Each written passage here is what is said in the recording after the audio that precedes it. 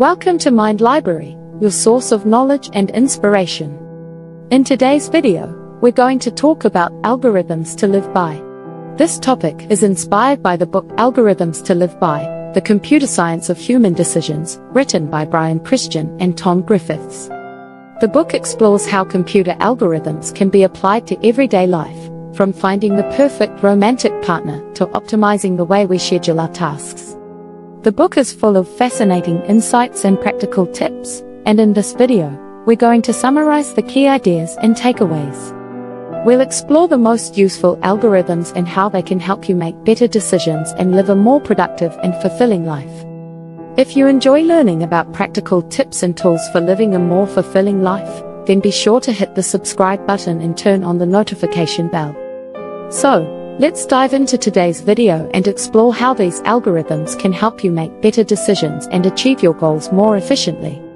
1. Explore and exploit. The first algorithm we'll discuss is the explore and exploit algorithm. This algorithm is based on the idea of making the best decision with limited information. The algorithm suggests that when you're faced with a choice between a known option that has worked well in the past, exploitation, and a new option that has uncertain outcomes, exploration, you should balance the two strategies. Let's say you're trying to find the perfect restaurant to have dinner tonight. You could go to your favorite restaurant, which you know will provide a good experience, exploitation. Or, you could try a new restaurant that you've never been to before, which could be great or terrible, exploration. The Explore and Exploit algorithm suggests that you should try new restaurants occasionally to discover new favorites. This algorithm can be applied to many other areas of life, such as trying new hobbies, meeting new people, and exploring new places. 2. Sorting and searching. The next algorithm we'll discuss is sorting and searching. The algorithm suggests that you should sort and search for information in a way that maximizes your chances of finding what you need quickly and efficiently. Alternatively, you could organize your collection by author, title, or genre, which would make it much easier to find the book you're looking for, binary search. The sorting and searching algorithm can be applied to many areas of life, such as organizing your files, managing your email inbox, and even finding the perfect partner.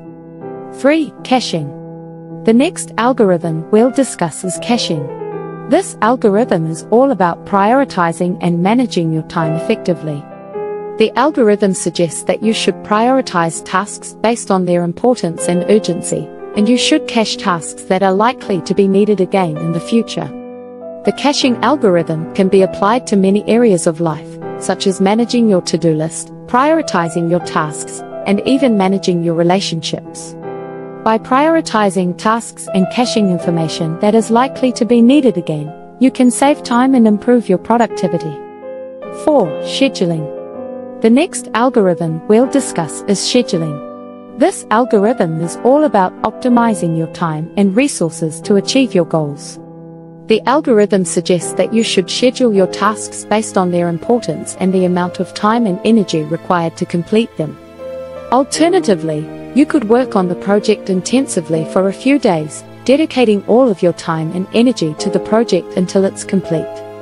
The scheduling algorithm can be applied to many areas of life, such as managing your work projects, studying for exams, and even planning your social life. 5. Bayesian inference. This algorithm is all about making decisions based on probabilities and uncertainty. The algorithm suggests that you should update your beliefs based on new information and adjust your decisions accordingly. Alternatively, you could update your decision based on new information, such as news reports and financial analysis, Bayesian approach.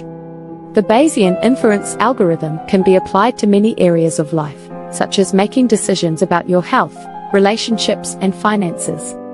By updating your beliefs based on new information, you can make better decisions and reduce your risk of making mistakes. 6. Overfitting. The final algorithm we'll discuss is overfitting. This algorithm is all about avoiding the trap of making decisions based on too much information.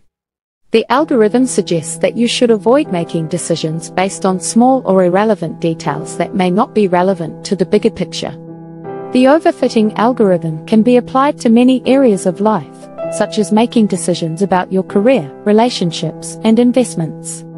By focusing on the bigger picture and avoiding the trap of overfitting, you can make better decisions and achieve your goals more effectively. Algorithms to Live By provides a fascinating insight into how computer algorithms can be applied to everyday life. By exploring these algorithms, we can learn to make better decisions, manage our time more effectively, and achieve our goals more efficiently. From the explore and exploit algorithm to the overfitting algorithm, each of these algorithms provides a practical and useful tool for making decisions and living a more fulfilling life. That's all for today's video on algorithms to live by. We hope you found this information useful and that it will help you make better decisions in your daily life.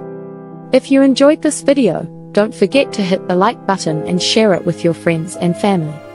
And if you haven't already, be sure to hit the subscribe button and turn on the notification bell for more videos on practical tips and tools for living a more fulfilling life. Thanks for watching, and we'll see you in the next video.